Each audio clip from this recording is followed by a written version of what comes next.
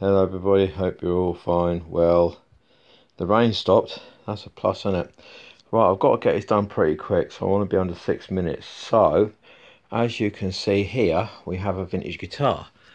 This is, if I get it to focus, yeah, there you go, E9, so that's 89.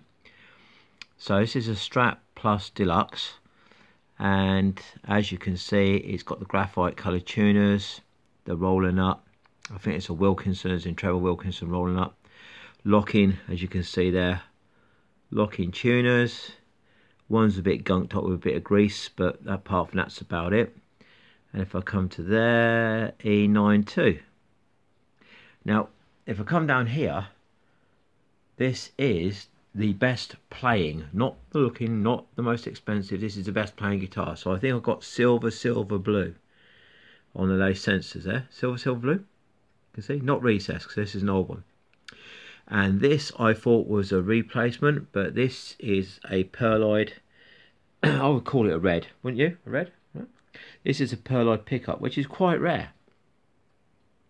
But they did this as a little fancy thing to sell them like that so it is original.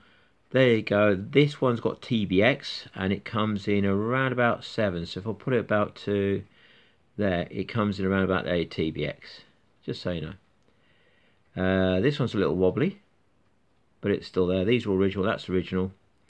And uh, the trem arm has gone missing. I'll tell you about it in a second. So it was original trem arm that's gone missing. That's my setup there. It is a floating trem. I won't do it, but you can see if I come into it, slightly floating. Slightly floating.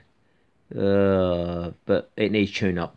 So you can see it's down at the moment. It needs tune up. So as soon as I tune it up, when I tune it up that will bring it up. So when I tune the guitar up fully that will bring the trem up a little bit. Because it's not been tuned properly at the moment. That's my setup there. And as you can see she is war wounded. So I've got a dent there. I've got I think that's dust I don't know. I've got a little dent there. I think I've got a line. There you go. I've got a line just there.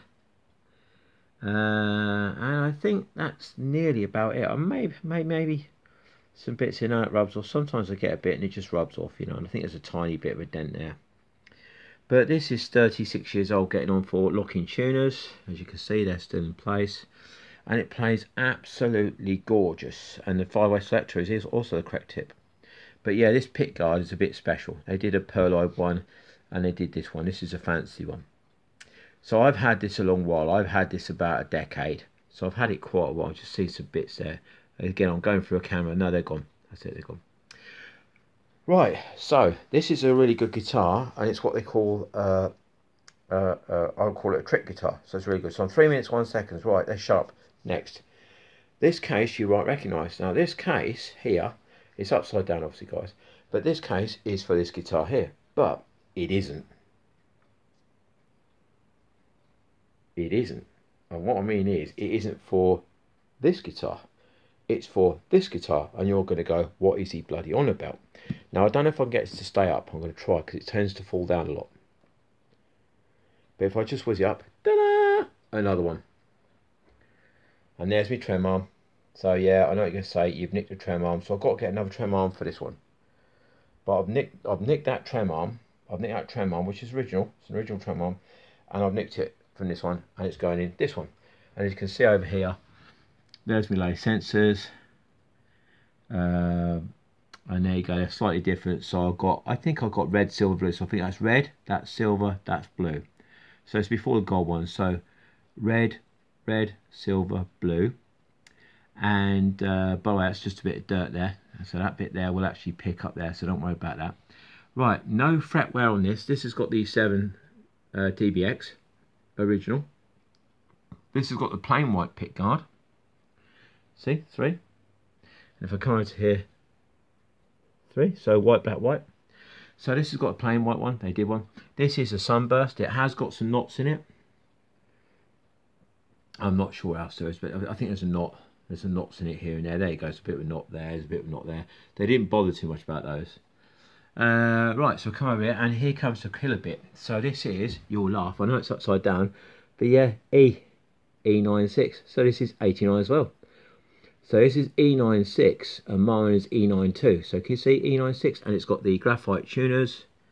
And of course they're locking as you can see there. They're locking tuners.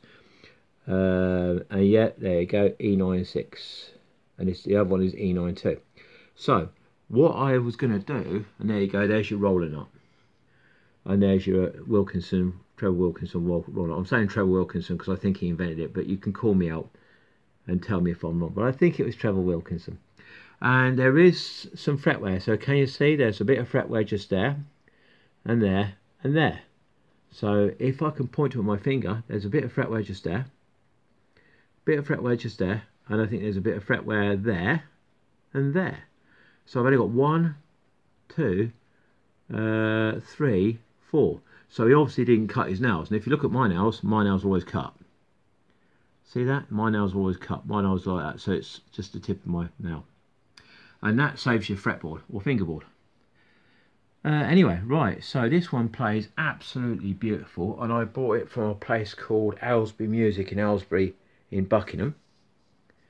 Buckinghamshire, that is, we're 604. And I was going to sell this one, which as you can see is E92. You see, E9263? Was going to sell this one to pay for this one.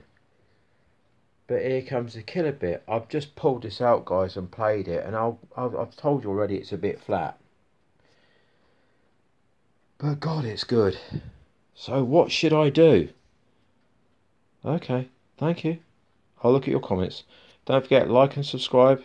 And I've got more air guitars, about 30 of them. Bye-bye.